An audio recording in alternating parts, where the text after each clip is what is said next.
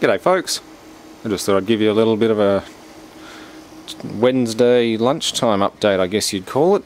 Um, I'm actually home from work for lunch so I figured I'd get something off my chest I've been thinking about all morning.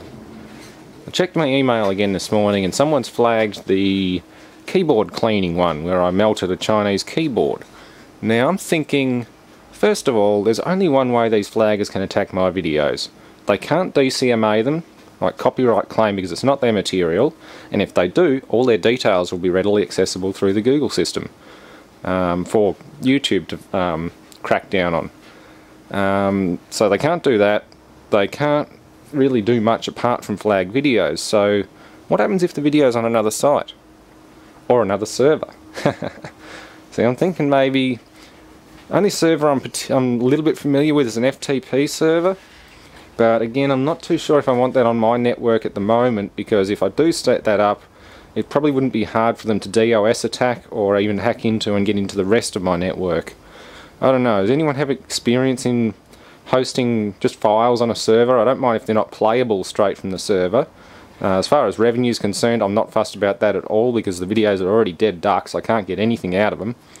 So, as far as I'm concerned, they can also go Creative Commons, which I believe allows you to download and edit them, or any anybody to download and edit them, provided they just give a bit of a um, bit of feedback to whoever they came from, like a reference or something. That's all I'd want.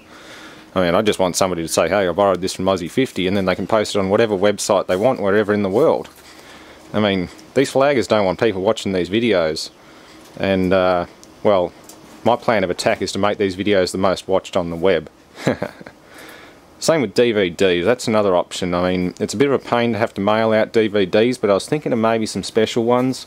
I think I've even got some videos that I didn't upload simply because I knew they'd be flagged immediately. So I might even do a special edition Ed Systems DVD of Carnage. $15.95 delivered to your door. Well, probably even cheaper actually. If I can duplicate DVDs quickly and easily with a like a semi-automatic duplicator or something, hell, I'd be able to virtually give them away. So yeah, what's your thoughts on that one? Um, I've got to race race off and have lunch and uh, get back to work, but I just thought I'd check on my uh, computer uploads and things, both of which have failed again. But hopefully this one doesn't, because it's not a gig in size. I'm having big problems with big files at the moment, like the part 4 to the Ford EB service, that's failed three times. So I'm just going to have to re-encode it, break it up into two or three parts and try again because at the moment it was like an 18 minute file and it's just not having it. So anyway, I just thought I'd ramble on a little bit more like I normally do and uh, hope you enjoy things and look forward to more things.